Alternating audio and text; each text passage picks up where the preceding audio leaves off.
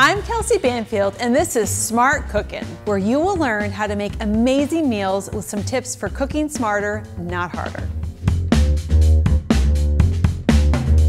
Hosting game night is fun, but not if you're in the kitchen cooking the whole time.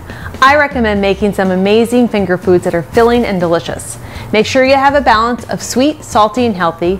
Present them on a beautiful board and let the games begin. You can buy all of this at the grocery store, but it's how you present it that makes it your own. Remember, it's all about the presentation. What I like to do is doctor up some store-bought hummus for a little signature touch. I add some za'atar, a little bit of parsley, and a pinch of paprika. Stir it together, add a drizzle of olive oil, and there you go. You've got your signature dip. A balance of sweet. Add a glass of Pinot Noir and party on. Cook smarter, not harder.